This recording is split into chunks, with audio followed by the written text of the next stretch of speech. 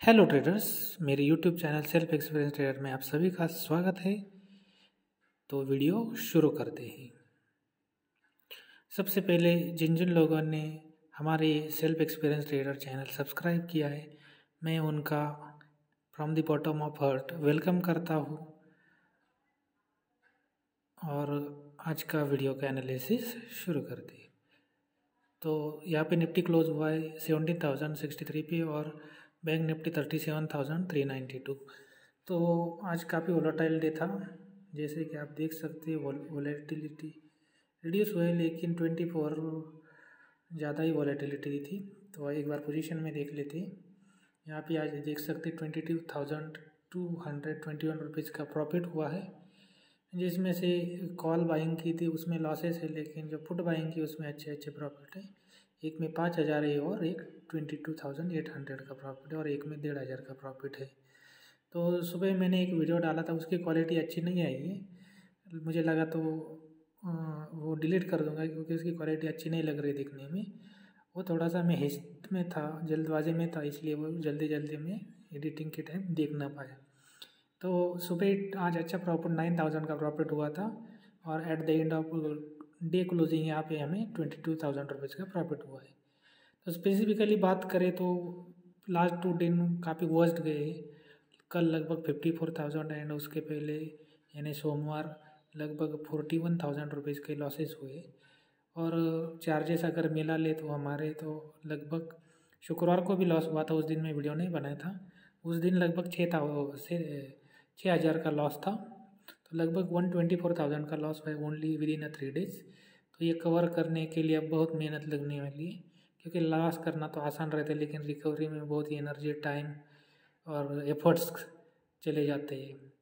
तो कोई नहीं फ्रेंड्स गलतियाँ बहुत हुई, गलतियों की लिमिट क्रॉस कर दी, लेकिन ट्रेडिंग में अगर इमोशन पे कंट्रोल नहीं हुआ तो ऐसे प्रॉब्लम आती रहेगी। लेकिन सबसे बड़ी बात है हमारा जो जो मैक्सिमम डेली लॉस है वो मैंने दोनों दिन फॉलो नहीं किया, इसीलिए बड़े बड़े लॉस हो गए रिकवरी के चक्कर में। और मार्केट जैसे ऑर्डर ले लेता था stop loss twenty point thirty point जैसे जितना भी लॉस स्टॉप लॉस लगता था वैसे ही हर ऑर्डर का वो स्टॉप लॉस ट्रिगर करता था।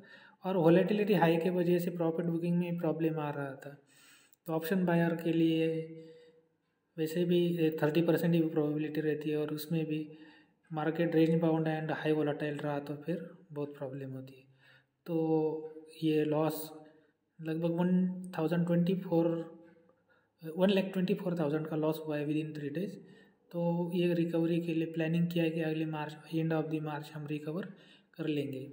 तो आज ये ट्वेंटी टू थाउज़ेंड प्रॉफिट हुआ है।